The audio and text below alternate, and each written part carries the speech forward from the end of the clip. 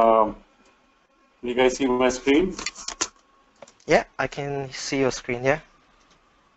Okay, let me see if I can get rid of this. Uh, no.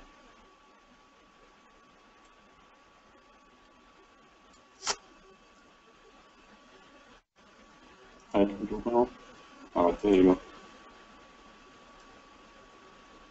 Okay. Um, thank you, uh, Daniel, for the introduction. So my name is Jaidev Kunjur. Um, I uh, have been working with BizTalk for many years. Uh, I used to be uh, a Microsoft BizTalk Virtual TS uh, for many years. And um, today what I want to uh, show you was a solution that we developed for an insurance client of ours here in the Midwest. I live in Naperville and typically work in the Chicagoland area. Naperville is a suburb of Chicago. And um, this uh, particular engagement, uh, we actually wrapped up, uh, I wrapped up about a year and a half ago. Uh, so when we started uh, doing this, uh, it was probably about two years ago, and Power BI was still in a beta version, and we were one of the early users of it, and quite a bit in that process. And by the time we went live with the solution about a year and a half ago, Power BI was uh, you know, available, generally available. So the timing worked out very well. So I'm going to have a, a short introduction, and then I'm going to go uh, into uh, demo. So the introduction is, is pretty much just five minutes of PowerPoint, and then I'll spend the bulk of my time, uh, you know, the demo, and then uh, know, show you uh, how we did this, and uh, and then we can, um, you know, have take some questions and hopefully answer some of them. So uh, this is just a high-level overview of uh, what uh, we had actually implemented for our customer. Uh, like I said, it was in the insurance domain, and we were uh, using BizTalk as an enterprise service bus, and uh, we were connecting different systems together. there was a, a new Guidewire user interface and Guidewire uh, application that was uh, used by the agents to create claims, policies, and bills. And the uh, document storage system and document management were new. Uh, Hyland's OnBase was used as the document management system, and uh, Source HOV was used as the document creation system. So uh, typically, uh, when an agent would like to create a claim or a policy, they would send a message over to uh, through the bus to source HOV, then you get a, a, template back, and then they would fill in the template, and the document would go again through the and saved into the OnBase document management system. We also had a customer portal where you know and, and customers would be able to retrieve uh, you know their claims or policies or bills or certificates. Those were also going through the BizTalk ESB, partly because the, a lot of the documents were stored in the legacy document management system, and BizTalk was actually used to uh, aggregate documents from both the, the OnBase uh, document management system. So when they did a search or a query, we would have to actually search both the legacy system and the OnBase system, and then aggregate the documents and then send it back to the end user. So uh, Customer Portal was another user of the ESB and then we had other applications that uh, were also going to be using the ESB for, uh, for different reasons. And uh, we had come up with uh, kind of a monitoring solution that um, was easy, easy to use. Uh, some of the things that we wanted to monitor were you know, the applications that were both batch and real time. Real time, typically we had, you know, um, like I said earlier, you know, Guidewire uh, uh, communicating with OnBase to do a document archive or retrieve or update or delete. Or Guidewire, you would you know go to source HOV, or we had custom portal doing search and retrieve from either TCI or OnBase uh, systems.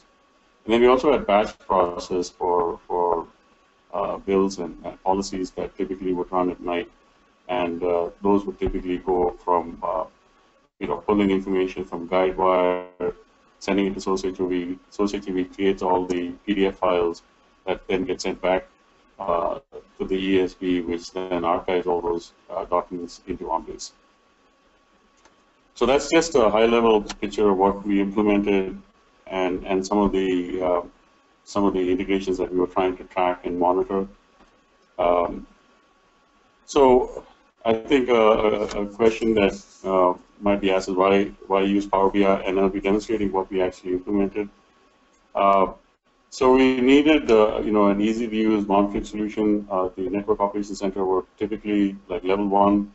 They would get uh, calls if, you know, an agent was having any kind of problem with Guidewire, and we had to come up with a system that um, would allow them to quickly, you know, see what is going on, identify if, you know, um, there's a problem in any particular integration and uh, you know not have to uh, learn a lot about BizTalk. Uh, I think you know the BizTalk admin console is a great tool.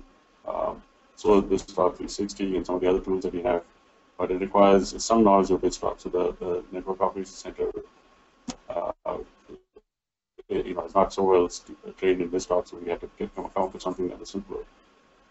Now we'd already implemented uh, the BAM portal, uh, and um, you know, we'd already built, as part of our development process, we typically will build BAM.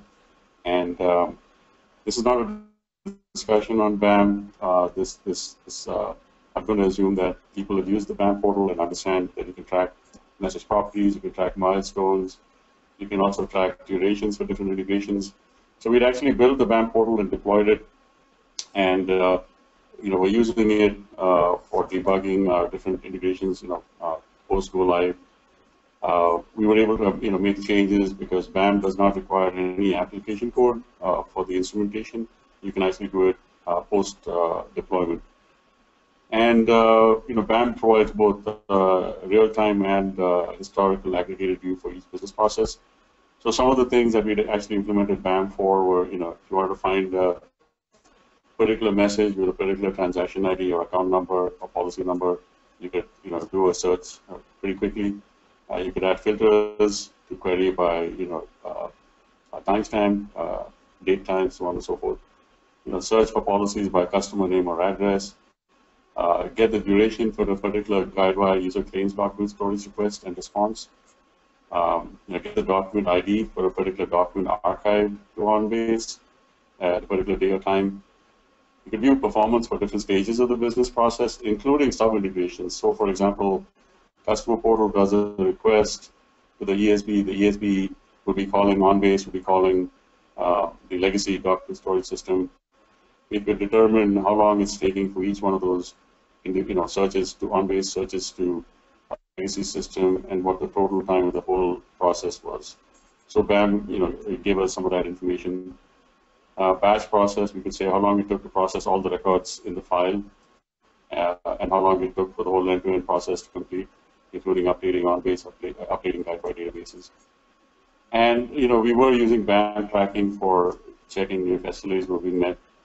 Uh, and, you know, we could uh, pretty much, uh, uh with BAM aggregates, you look at how things were behaving over time.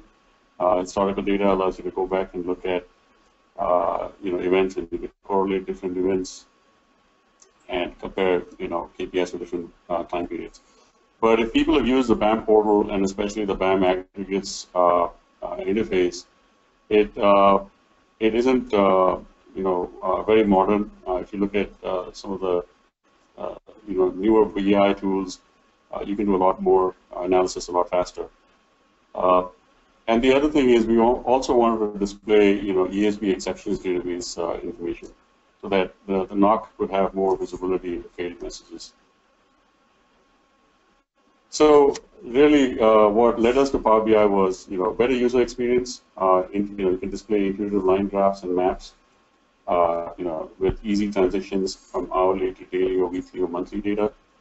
Um, it provided an additional uh, tool for us to get some visibility, you know, in addition to like the BizTalk admin console, BAM portal, ESB portal, and the BizTalk health monitor. Uh, you know, the, the Power BI dashboard was another uh, view into what was happening in the ESB. So we could, uh, you know, it kind of helped us debug issues, uh, you know, in production. because you could go back in time and look at you know what happened, and we could set filters and stuff like that. And uh, it's quite fast, especially if you have to display a large amount of historical data. And and the other thing is, you know, it's a SaaS-based uh, solution that runs in the cloud. Uh, there was no installation that was required on premises. Uh, I will go over what we had to change to get this to work. Uh, basically some outbound firewall rules we had to change, and we had to install a, a data access gateway. And uh, you know, uh, it was a pretty low cost. Uh, I think the customer pretty much had to pay under ten dollars per user. It was I think nine dollars in change if you have an enterprise agreement. So you know, getting the, the Power BI uh, licenses were easy, and uh, you know you could basically pay for what you're using. Uh, you know, if you have uh, 10 users, it doesn't really add up too much. You know, it's under $100 uh, per month. Um, so it was a pretty low uh, cost, you know, system for us to be, you know, testing some of this with. So initially we started displaying BAM data, but then uh, you know uh, we started using Power BI to display exceptions in the ESB exceptions database, and then it kind of evolved into displaying you know uh, more business data. Um, and I'll, I'll, you know show some of that. You know we were trying to you know the, the customer wanted to see claims that were coming in from you know different lines of business. Um, they also wanted to kind of see like a heat map uh, to see, you know, when you have kind of a disaster situation, uh, if you have a geographical heat map, you can, you know, quickly look at where a lot of the claims are coming in from. And, uh, you know, the other thing is because of the business data we start displaying, you know, uh, I think uh, Power BI became uh, more of a easier to use platform for, you know, displaying some of this information. So, um, you know, we kind of gave a demo to the BI team, and you know, they were also uh, quite impressed with how easily you could actually, you know, uh, display data from your on-premise databases. So, uh, like I said, Azure-based subscription model, uh, very low-cost entry point, and we also uh, have a production support team that is, you know, a heavy user of these dashboards. Uh, they use it for, you know, presenting the daily health check reports to the business and stakeholders in IT. Um, and uh, uh, you know, it's it's basically and you know shows the customer you know uh, the real value of uh, the you know ESB that we've implemented. So what we monitored. So some of the things we monitored were basically some KPIs and uh, uh, tracking of service level agreements and also tracking failures and some business data. So really the, the KPIs uh, that uh, I'll show you right now is, you know, we, we're tracking volume, duration, message size, and throughput. So volume typically means, you know, how many claims were successfully processed and how many that failed. And, uh, you know, it helps us answer questions like, uh, is, is a volume unusually high or is it way below the expected volume? Is it trending upward at a faster rate? Uh, you know, let's say we deployed a new release and, you know, uh, we were expecting a volume of you know uh, 10,000 you know transactions an hour, and it's uh, significantly higher. In which case, do we need to be proactive and take some action? Do we have a you know an unusual number of failures at a particular time? You know, did we have some kind of event that um, uh, you know maybe throttling to occur, and we can go to this and uh, you know the, the Power BI dashboard and see what happened at that time, and you know see if we had a large number of failures at that time. We also looked at durations of uh, different integrations. You know, if, if the end user who's using the customer portal is experiencing, uh, you know, large wait times, uh, we want to be alerted by that. Um, you know, or, or if a new release is impacting, you know, processing time. And then message time, message sizes, we also looked at that. You know, for example, uh, request response message sizes for different integrations. We were tracking that. Um, you know, let's see, you know, in one case there was a search request that was, you know, returning a very large payload. Uh, so we kind of had to look at what we could do to filter the request so that, you know, we don't have very large payloads going through the ESB and, and pretty much impacting other applications running within the stock environment. And then we also looked at throughput. Um, is the rate at which you're processing records meeting SLA.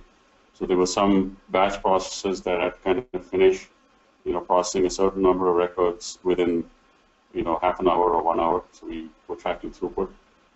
And we had alerts that were monitoring the SLAs. So uh, an SLA is not being met, we would fire an, uh, an alert, but no single max or min value will cause an alert. So basically, we looked at aggregates. And uh, KPIs were both, both end-to-end -end and in some cases uh, just sub-integrations.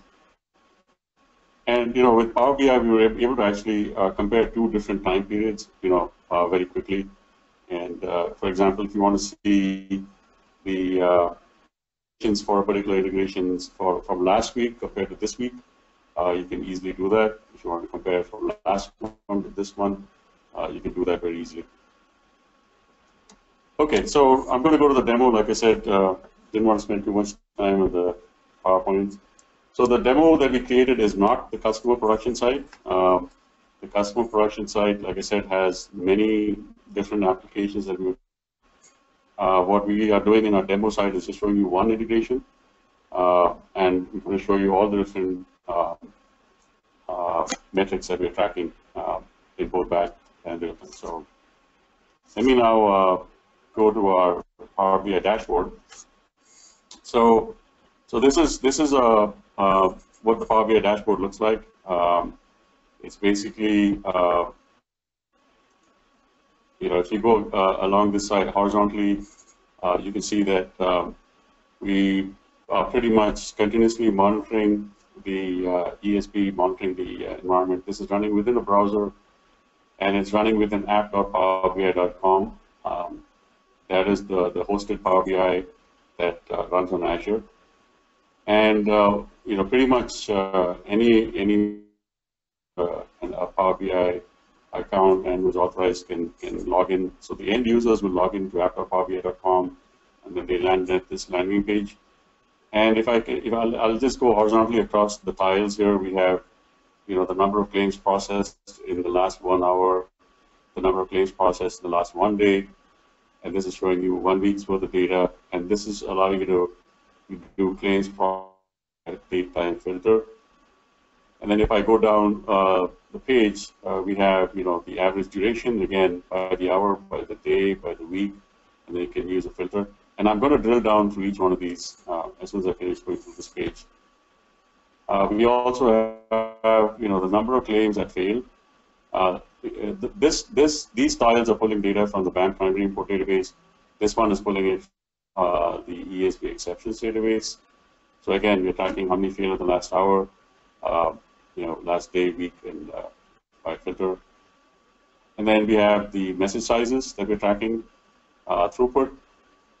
And then, uh, you know, this is showing you like the, the heat map, like I was saying earlier, you can see claims coming in uh, based on uh, geographic location. You get through these a little bit later.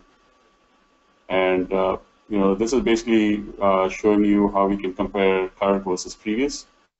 So typically you want to compare current versus previous week. Uh, and you know, for each one of those KPIs, we can do uh, current versus previous. And then um, we started showing some business data, uh, you know, claims based on the different lines of business. Uh, so, so that is coming from uh, a GuideWire database. So we're pulling some of that information from a different data uh, store that's on-premise. And then we also came up with a, a generic interface where you could actually pull BAM transactional data directly from BAM primary import and display it. So let me uh, uh, do a drill down into the first tile. So here you have the number of claims processed in the last one hour. So uh, uh what this would display uh, again, this is actually doing a round trip. Uh, it's going through the data access gateway to the on-premise database and pulling the information. And we'll, we'll show this as soon as it gets refreshed. So typically we have this uh, a line graph that uh, you know shows you what the data looks like. Uh, in the last one hour. Uh, we, you can hover over it. You can actually see the number of claims that have come in in the last one hour. Uh, this is telling you the total number of claims processed in the last one hour.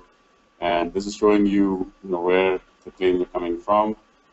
uh, you can also kind of uh, drill down and look at uh, you know the, the location. So if you just want to see uh, the, the claims that are coming in from you know this particular region, you can actually drill down and it only shows you the line graph for that particular region and the total claims that came in for that particular region.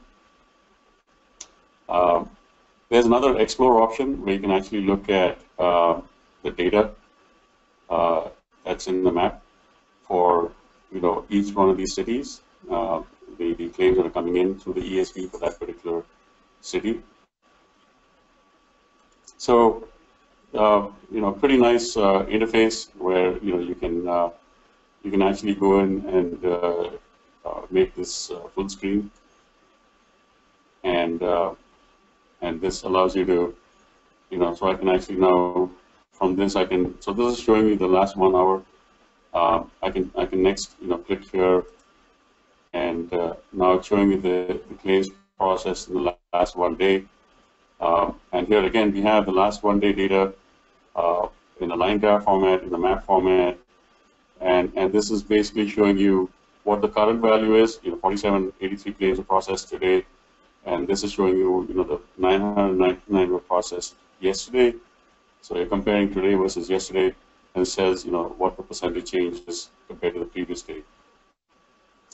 So again, if, if there's something unusual like this, uh, you know, this is some useful information for the network uh, operations center to look at and see, you know, why we're getting a large number of claims coming in from, you know, Lansing, Michigan.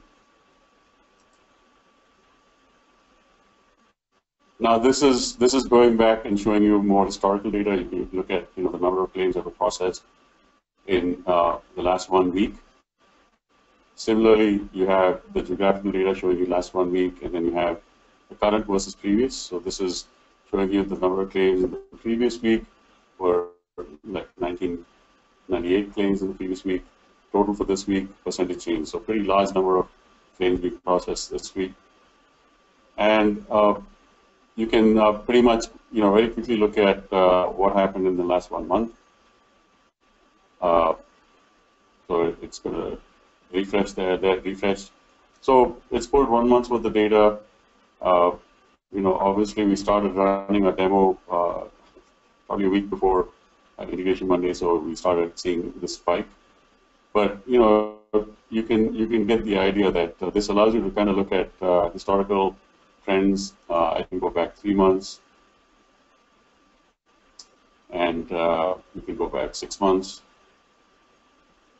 As you can see, the refresh rate is, is, is really fast. I mean, you know, uh, let's see if I can go back one year. So one year is pretty interesting. There's 320,000 entries, uh, percentage change. Uh, but again, this is a demo site, but I think you get the idea that we can actually look at uh, a lot of uh, you know different information, including you know filtering, drill downs. Uh, you, know, using Power BI, it allows you to you know do all of these things. So much uh, nicer user interface than uh, what uh, the you know BAM portal provides. So I'll, I'll quickly go through uh, the average duration tiles. So in addition to the number of claims, uh, what, the other KPI I mentioned earlier was you know, looking at duration. Again, you can look at durations uh, for the last one hour.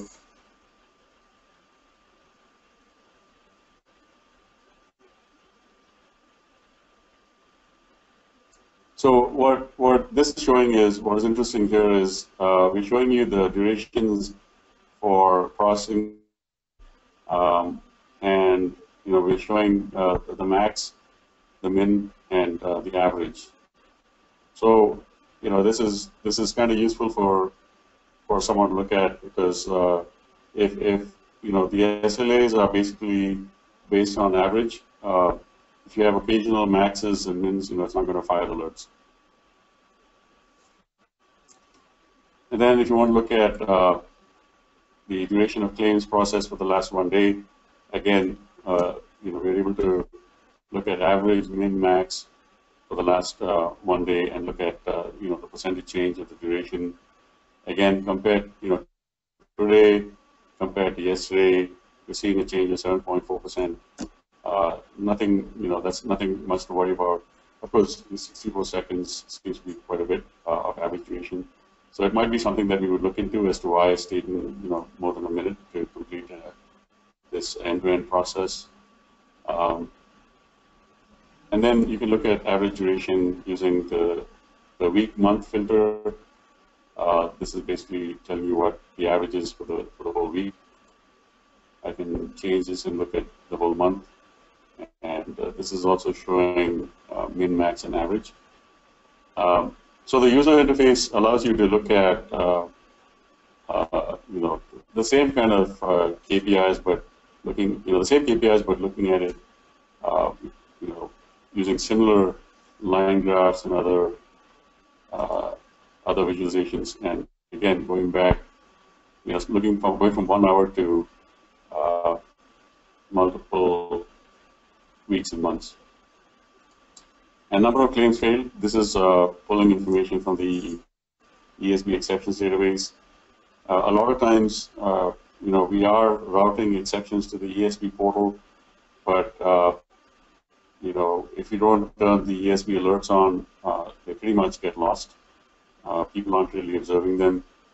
So by you know surfacing them in our Power BI dashboard, uh, you know, we can at least have the network operations team alert us if you know the numbers are unusually high. Um, because typically we route exceptions to the ESB portal and not have them, you know, suspending in, in the BizTalk admin console. So uh, it's good. It's good to look into why we are getting exceptions, uh, what the reasons for the exceptions were, um, you know, and if you, you know, if you're seeing a large number of exceptions in the last one hour, it's obviously cause for concern you then want to call level two support or even get level three support involved to kind of look at you know what's what's going on here. So uh, you know this is this is basically showing you the number of exceptions that uh, happened uh, in the last one hour. And we can also look at it uh, just like we did with the others. We can look at uh, the exceptions for the last one day. And again use the week-month filter to drill down and uh, you know if you want want to look at you know where what most of the exceptions are for last one week. Again you can go back up to one year and and look at uh, the ESB exceptions for the last one year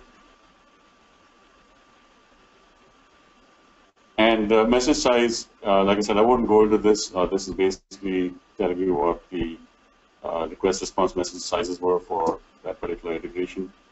And uh, in our case, uh, our demo site, pretty much it's it's pretty much horizontal line. It's not really very interesting. And then throughput is is somewhat interesting because we want to always look at you know the message processing rate of the ESB uh, for different integrations. In in particular, if there's a batch process and you know the rate is supposed to be you know, process a thousand transactions per hour. Uh, we are pretty much continuously monitoring the, the rate and uh, and uh, you know looking at uh, looking at uh, what the throughput is. And again, you know, this is telling you that uh, the number of claims per hour today versus yesterday, whether you know it's uh, showing you showing that it's gone down for some reason. Uh, maybe that's something that needs to be investigated. Then if you look at the, the week chart, you also see a decline in, in processing throughput. Uh, this might be something to investigate because obviously if the rate is going down, um, we have to kind of look at is it because there aren't too many claims coming in or is there uh, you know, something else wrong? So we might say, okay, we had a release that went out, uh, you know, about two weeks ago. So let me go and, you know, look at the month view and we might say, okay, you know, things were kind of looking pretty okay till, you know, September 6th. And we had this big spike and then all of a sudden things started going down. This might be useful information for development team to look at and figure out that, you know, uh, this is something that we need to investigate and fix.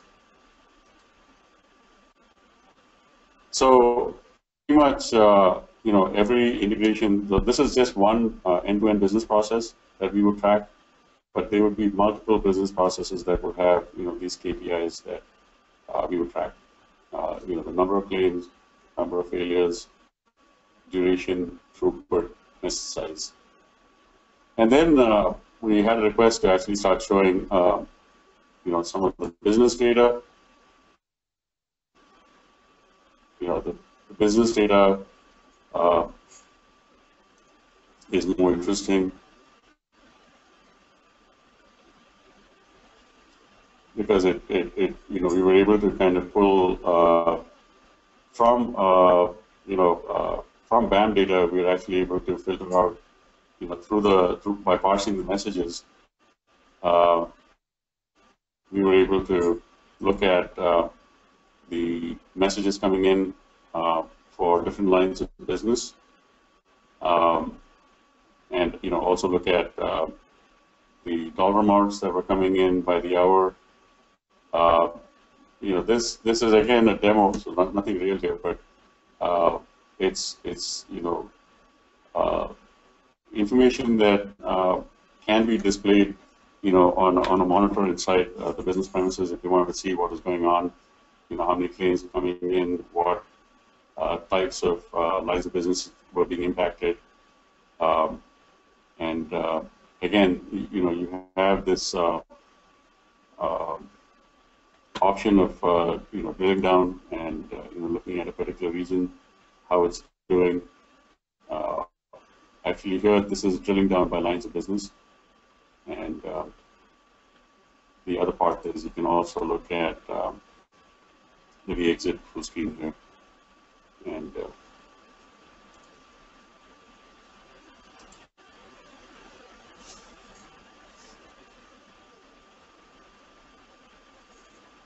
so so this is something uh, is uh, of interest to business users.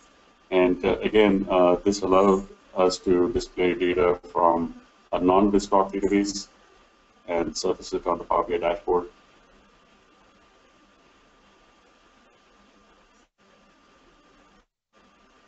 And uh, you know the other, like I said earlier, you can actually uh, also look at uh, uh,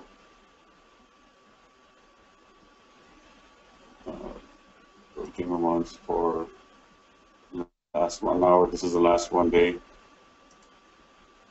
and if you if you look at uh, see data here for the last one day, you can also see you know, some of the financial information that was tied to the map that we just saw earlier. So this, you know, shows you by the line of business, you know, what the uh, uh, claim amounts were based on the line of business.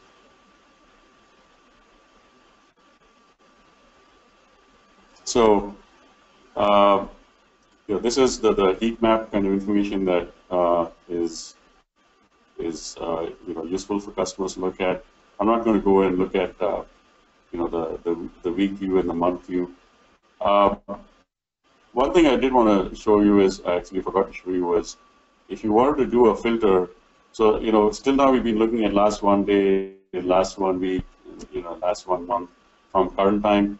But if I wanted to actually do a filter, let's say I wanted to look at uh, something that, you know, happened uh, a few days ago between a particular timestamp, uh, Power BI allows us to, to filter uh, pretty nicely.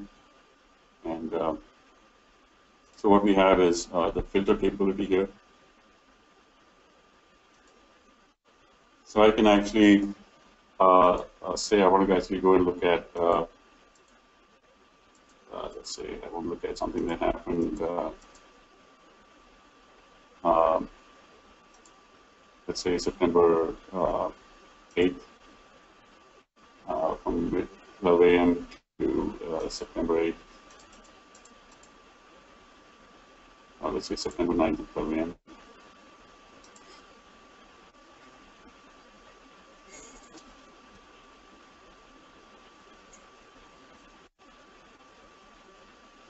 Okay, not a whole lot happened. Okay, so let me go back and change this to uh, a longer duration.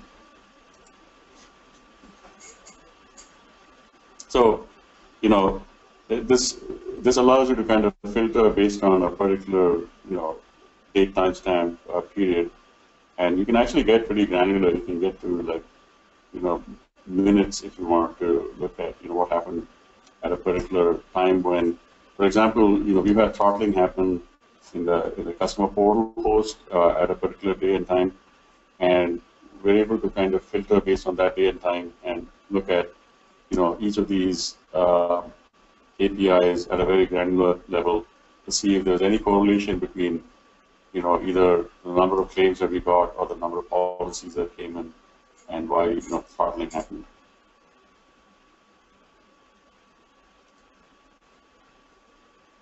So, uh, you know, a lot of different ways to, to monitor your system.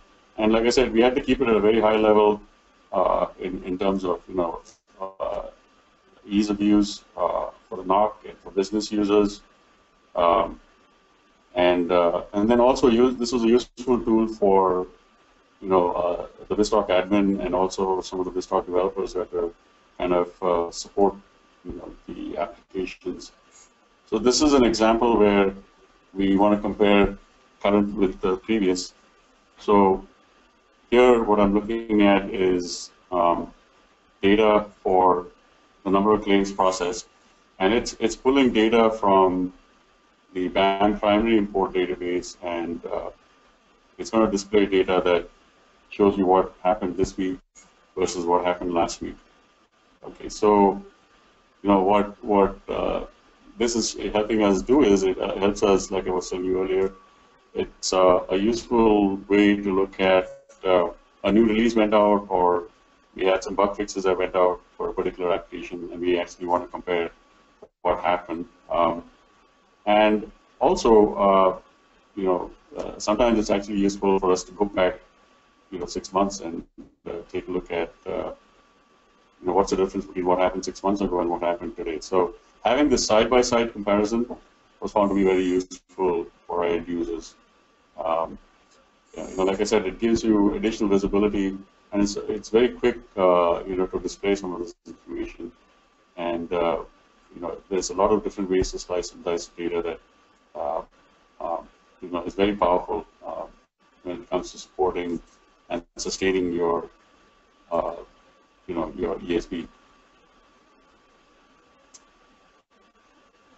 Okay, uh, so we went through the heat map, we went through the side by side. I'm not I'm not going to go through you know, you can do the same thing for the you know, durations, message size, uh, and claims uh, throughput. And then uh, another interesting uh, business request was, you know, trying to look at uh, you know, slicing and dicing a particular business process and trying to. So this was a, a somewhat complicated business process that had many uh, pieces to it, many sub-integrations that were part of it.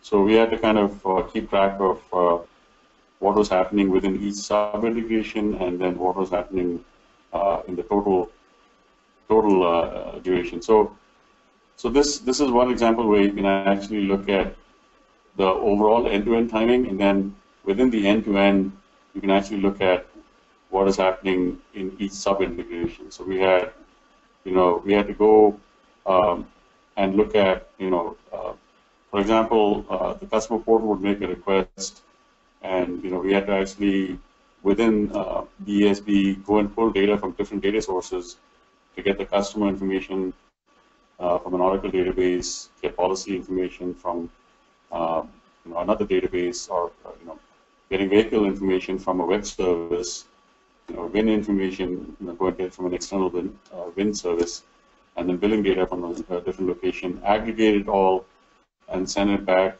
to the customer portal. So we wanted to actually look at how, how well each one of those sub-integrations were doing because we wanted to find out, you know, which is the worst performing of all so that we could, uh, you know, go and do some tuning and uh, figure out, you know, what was going on. So this allowed us to very quickly uh, identify, you know, which, who the culprit was, what was taking the, the longest time, and uh, you know, in a production scenario, this is quite powerful because a lot of times you don't have that visibility into what is going through the ESB, and uh, this is something that you know shows you the values very quickly.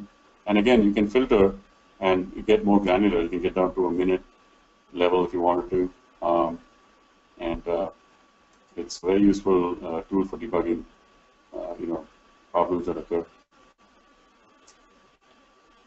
And uh, finally, uh, uh, we used to have Q&A, which was another feature. but you know, one of the things that we used to have is, you know, you could actually type in a request and it would pull the data from the BAM portal. But we actually built something where you could actually pull uh, BAM data by using you know the date and time filter. And uh, let me. Uh, so this was uh, another way where you know they didn't have to actually use a BAM portal.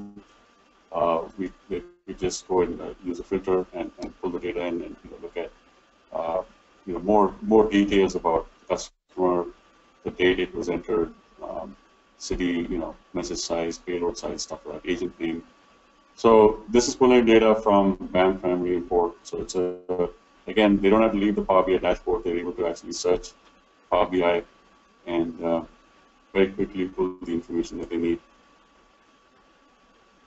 Now, one additional interesting feature about uh, Power BI dashboard is, so this is the web-based, uh, you know, uh, dashboard um, uh, that, uh, you know, people would use. Now, they also have a, a phone-based interface. So if I wanted to see what my Power BI dashboard looks like uh, over the phone, uh, this is this is what it would look like. You know, so end users would log in using their phones into you know log into app.powerbi.com, and this is how the dashboard would look on their phones.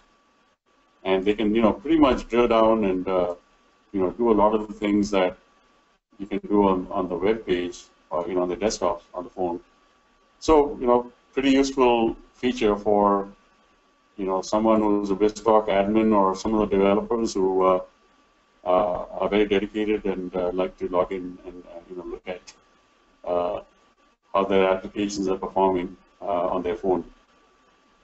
so, you know, another nice feature of Power that you get with Power BI that I think, you know, makes it a more compelling plat platform for you know displaying some of uh, your uh, you know business data and your performance data.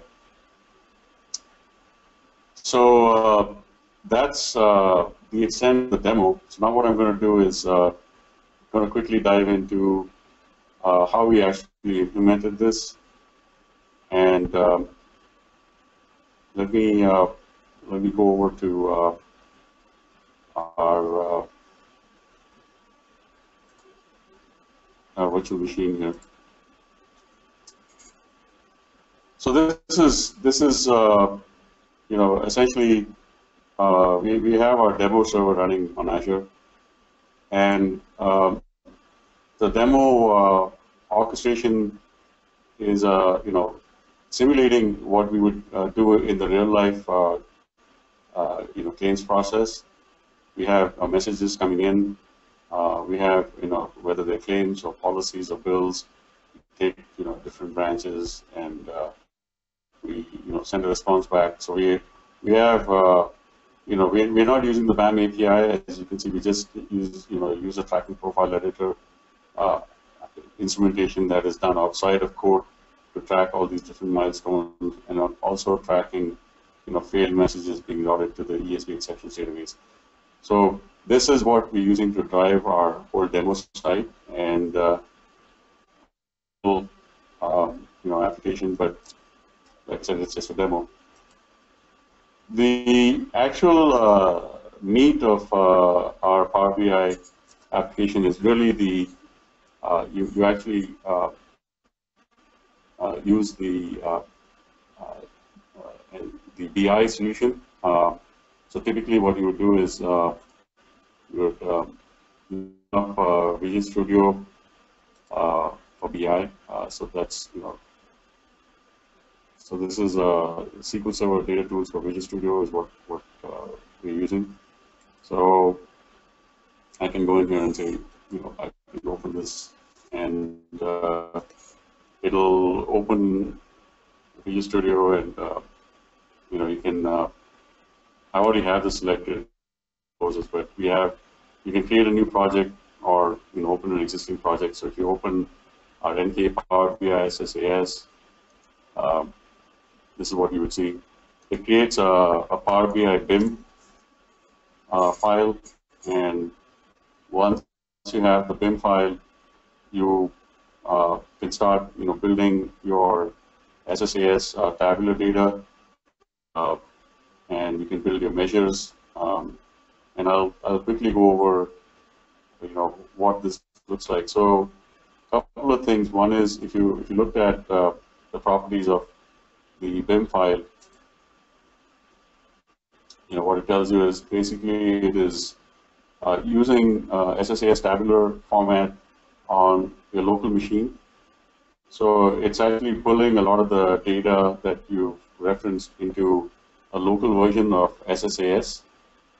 Um, and then what you would actually do is when you're when you finished your measures, uh, you would pretty much go and uh, you can deploy it to SSAS.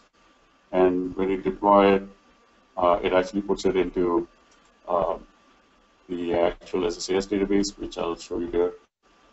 SQL Server Manager Studio running. So this is my SQL Server Analysis Services um, instance, and uh, you know this is what we actually deploy to. And you see the instance here. This is associated with uh, uh, you know a Visual Studio instance. So this is like a local workspace that gets created as you're doing development. And once you exit Visual Studio, that local workspace disappears. And, uh, you know, once you deploy it from your local workspace, it goes into your uh, um, your actual SSAS database. So what you have to do when you start out is you have a clean canvas and uh, you uh, start by uh, connecting to uh, particular data store. So what you can actually do is uh, um, connect, uh, let's see.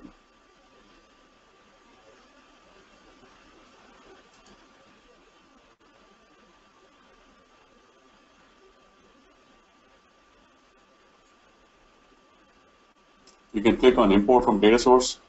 So this is the first thing you would typically do is uh, use a table import wizard. And these are the different data sources you can import from. Uh, we're using SQL Server, but you can actually use Azure. Um, all these are different data sources that you can pull from.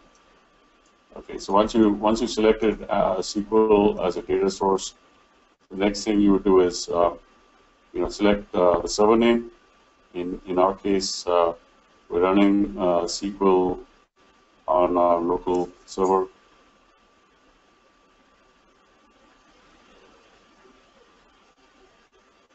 So VTSN ENT is, is where we're pulling from.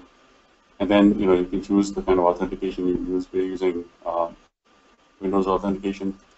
And it, you know, it tells you which database you want to pull from. So, so these are, you know, all the relational databases that we currently have. You know, BAM primary import is where we're storing a lot of the BAM data. We have the ESB exception database that is containing all the exceptions. So, you know, uh, if you look at uh, our SQL instance here, you can see, you know, all our all our databases. Any BizTalk developer is probably familiar with, you know, the BAM primary import and all these other BizTalk databases. So, using the uh, Visual Studio, uh, you know, you can actually connect to the database of interest. So in my case, if I just want to connect to the ESB exception database, I can do that. And then once you click next, it uh, tells you whether you want to use a specific username or password or you want to use a service account. I'm going to use a service account. And then uh, it asks you whether you want to pull from a table or you want to actually pull from a query. So we have, uh, you know, uh, a lot of uh, data coming directly from tables that we map to Power BI. So I'm going to select that. You typically choose the query if you had stored procedures that you want to call or you actually want to write a specific query to pull data from, you know, uh, different tables within the database. And then I'm going to select uh, the ESB fault table because that's where a lot of my exceptions are. So I would select that and then I click finish. Once you do that, uh, basically what it does is it's going to pull all the data that's in the fault table into your workspace. So I'm going to I'm going to exit this because I've already done this. So once you do that, it pulls all the fault information, and you can see this is you know typically the data that's in the fault database, and then you define measures. So this this pane allows you to create measures, and I've created a, a pretty simple measure here called number of faults, and you define number of faults you know in in the pane up here. So uh, I'll just uh, typically, uh, you know, in this particular case, you, you would basically say, you know, you define number of faults colon equals, and uh, it's, it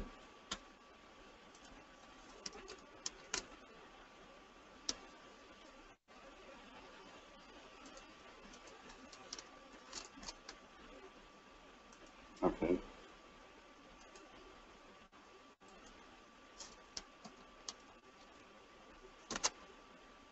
All right, let's a new measure.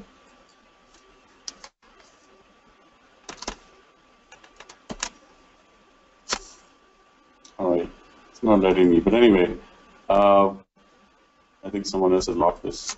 But typically you define uh, the number of faults and you say, you know, whether you want to count the number of rows in the fault column, and it essentially pulls this, uh, in, you know, information out into the measure. And then once you define the measure, you can save this, you deploy uh, using right-click deploy, and after you've done this deploy, it will be deployed to the SSAS database that I showed you earlier.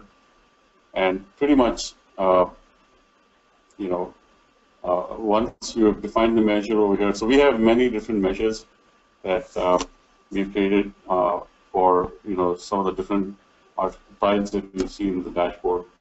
But I'm just taking a very simple example here. Once you define this and deploy this, it is now in your SSAS database.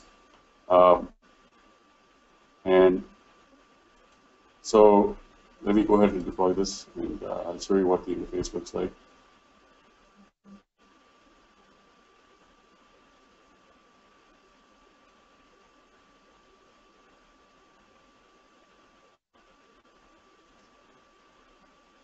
So it's going to deploy all of my uh, all of my uh, measures, which is fine.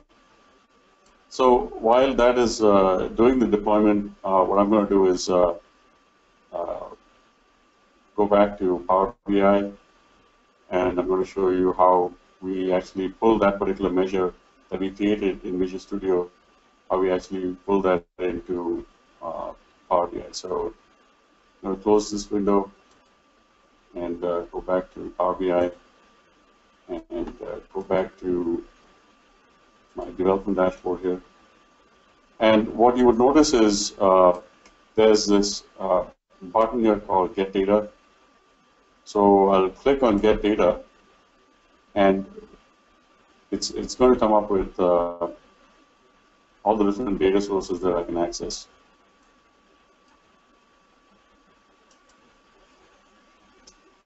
So you can actually pull data from uh, you know uh, different sources here, and I'm gonna I'm gonna choose uh, databases, and I'm going to choose SQL Server Analysis Services.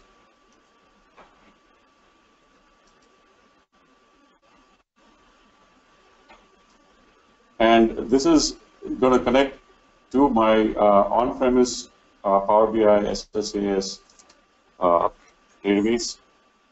And I'll show you uh, how it, it's able to actually detect this and connect to it. It's, there's actually a, a connector that is uh, that is used uh, as, as part of uh,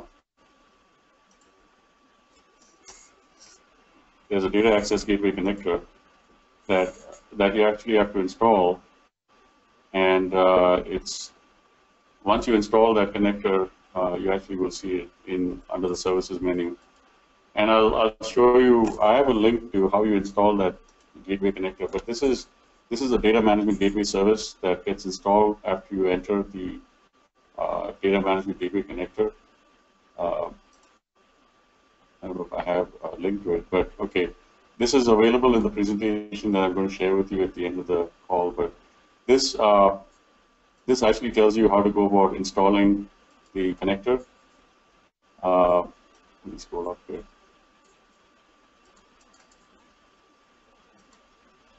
So with, we have to install the, the uh, Power BI Data Gate, Gateway Connector, and uh, it tells you about some limitations. We're using the personal data connector, so uh, you can download it, and uh, uh, there, there, are two different connectors. So we use the uh, on-premise personal data connector.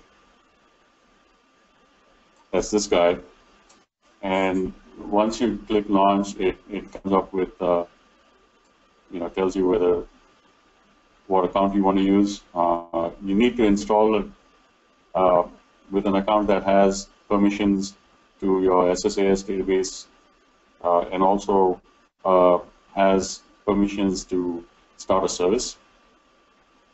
So once you do that and uh, you, you click next and you finish the installation, that's when it actually creates this uh, service for you. And this service is the one that uh, uh, is actually communicating with Power BI in the cloud. The other, the other part that uh, is also important is this tells you about the firewall ports that need to be opened. Um, and these are all outbound ports that need to, get, need to be opened. And uh, you know, tells you a little bit more about what firewall ports need to be open. No inbound ports, all outbound. And uh, let me see if I can actually show you that.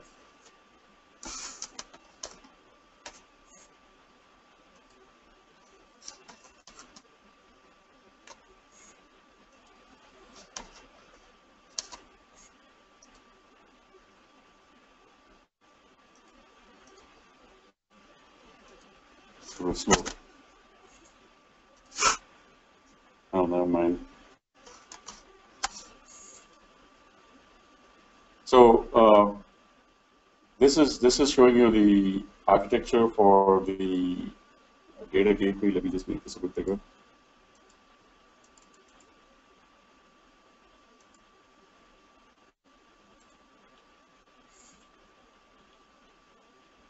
So this is how the gateway works. Basically, it has uh, you have all your Power BI apps, and you have you know your Logic apps and other Microsoft Flow uh, can can use this application gateway to talk to your on-premise data sources.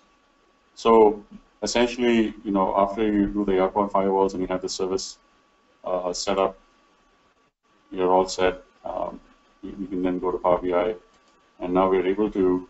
Um, uh, sorry, went too far. we're able to actually see the NK Power BI database through that service and through the gateway. We're able to actually see the database. So let me click this database and uh, now I'm connecting to the uh, SSAS tabular database that I created on premise. And it's telling me that this is what is available. I click connect. And now it's importing uh, the data that's in that database.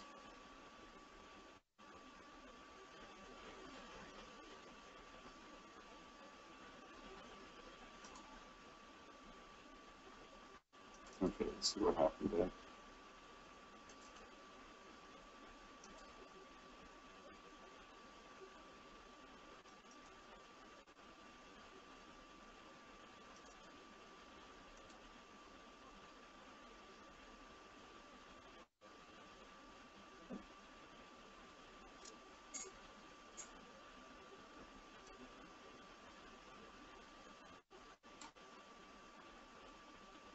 Okay, typically what we would see at this point is the uh, Power BI dashboard showing up. I'm not seeing it.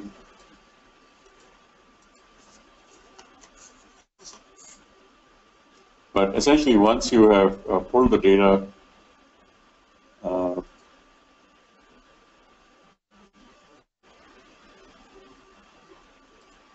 once you pull the data from the data source, uh, what we should be able to do after that is uh, we go to that data set, uh, constitution data set, you go in here. You would essentially be able to see the different uh, measures that you created. Um, and I'm going to type in uh, one of the measures that I created earlier.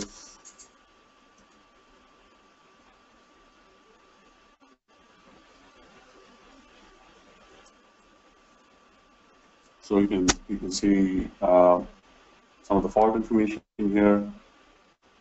Uh, so number of fault messages, I want to select that. So you can actually select, now you're actually connected to the uh, the uh, database and I can actually choose the different uh, measures that I want to actually display on my chart here. Um, let's go there, let's select the fault severity. Uh, and you can uh, choose the chart type. Uh, let's say I want to change this to a pie chart. So it allows me to change that to a pie chart. So you can see that I'm actually directly connected uh, from my Power BI dashboard uh, as a developer into the um, uh, databases that are on-premise, and I can design the layout of the chart, um, and you know pull from different tables and uh, aggregate them in my chart.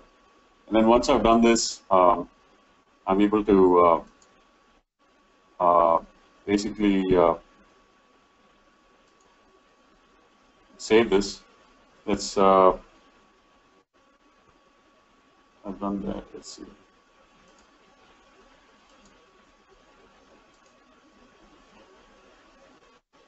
Save. So I'll just give it uh, a name.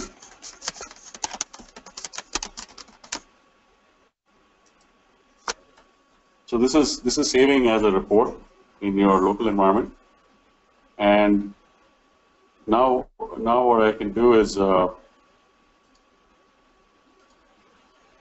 uh, once I save this, I can actually pin this to a particular uh, dashboard. So now it's saying save report, so I, let me give it a name can save it, okay?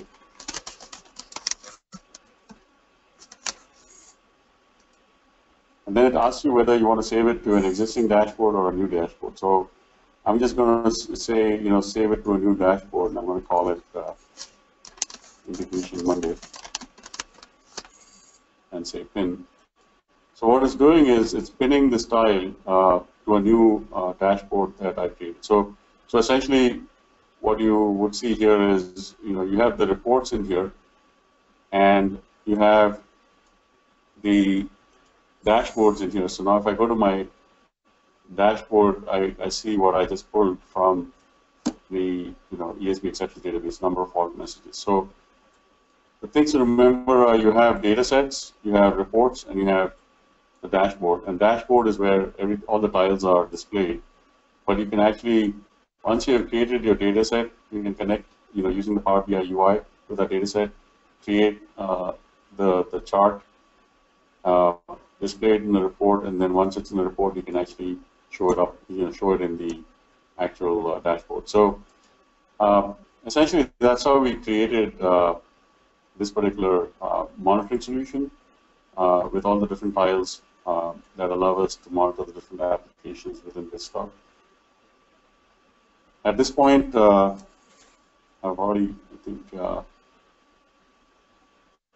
completed uh, most of the demo. So let me quickly go back to uh, the presentation and let's see what's left.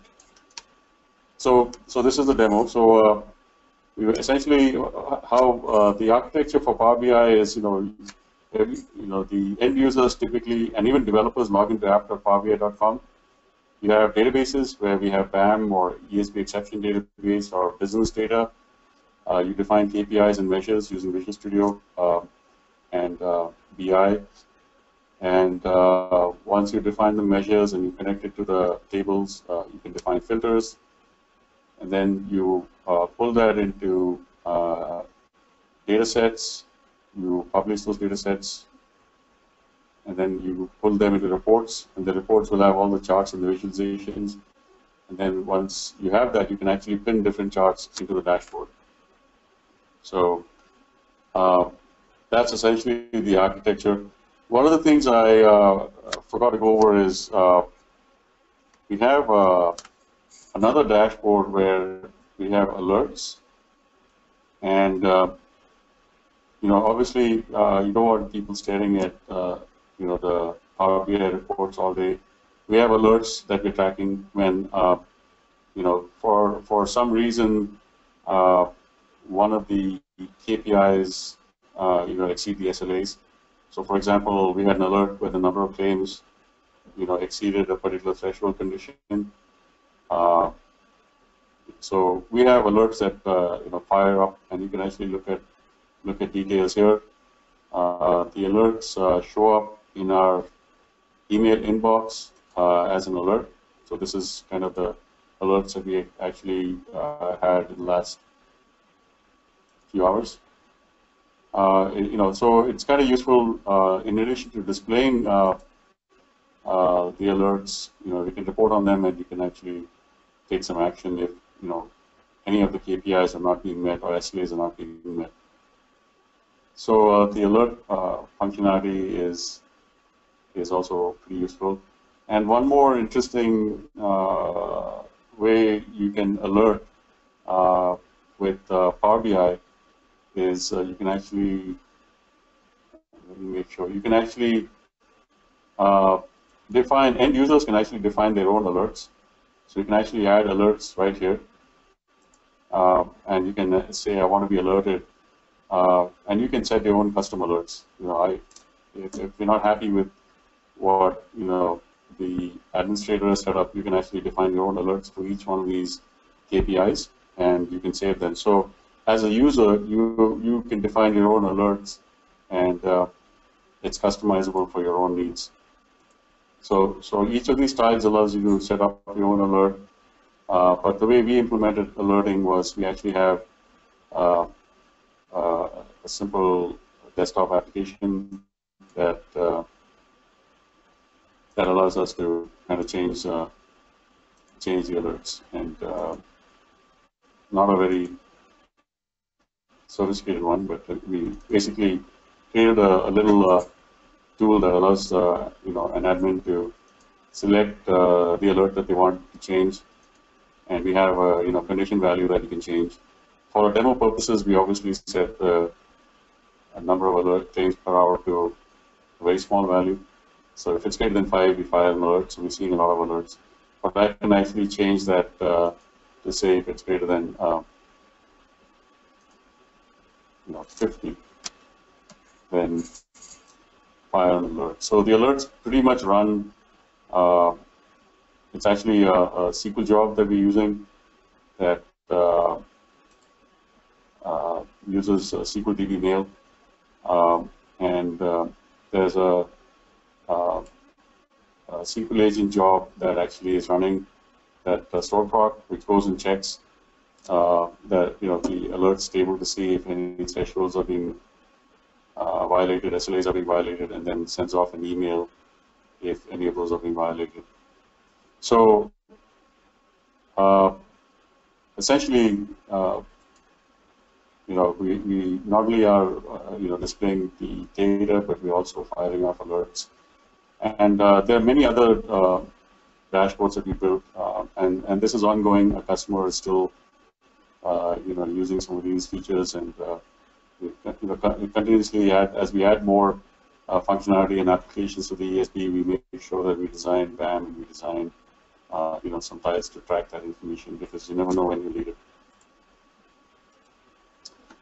Okay, and uh, some useful links. Uh, I just went over how to set up the on-premise data gateway. I showed you guys that link. It tells you about uh, the firewall settings, uh, how to install the gateway on-prem, um, and uh, you know security and stuff like that. And there's some nice articles about using Power BI, and then a nice article about how to monitor BizTalk using BAM.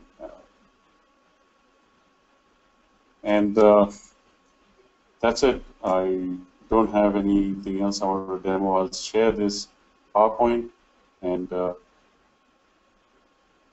I'm done with my presentation. Okay, thanks Jaidev for this. Uh, let's look if anyone has any questions.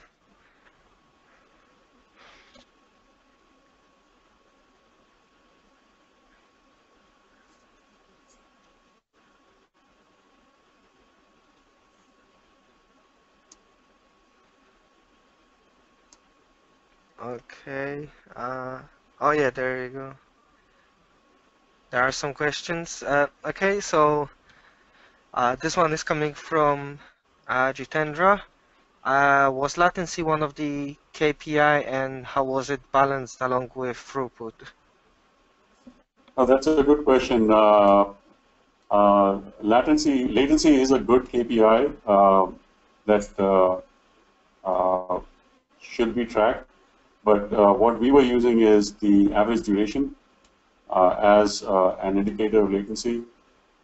So uh, we were tracking durations for you know some of the web service calls, and you know tracking how long it took for that to finish. So a lot of lot of you know like the customer portal requests and other requests would would call the ESB on ramp via a web service call. We could track how long that web service took to, to complete, you know, right from the on ramp uh, to the off ramp, and for us, that was a measure of latency, the duration itself. Okay, and to add to that question, uh, was the volume uh, as well as the batch uh, referring here for real time?